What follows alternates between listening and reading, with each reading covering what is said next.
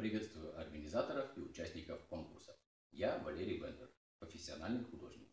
Живу и работаю в России, на Урале, в большом промышленном городе Пермь.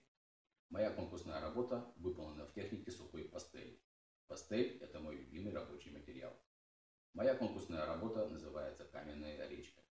Работа выполнена на пастельной бумаге. Размер картины 50 см на 130 см. На картине изображен характерный пейзаж предгорий северных уральских гор. Это камни, мох, низкорослые травы и деревья. В ограниченной цветовой палитре в серых и зеленых тонах я показал таинственную красоту короткого северного лета.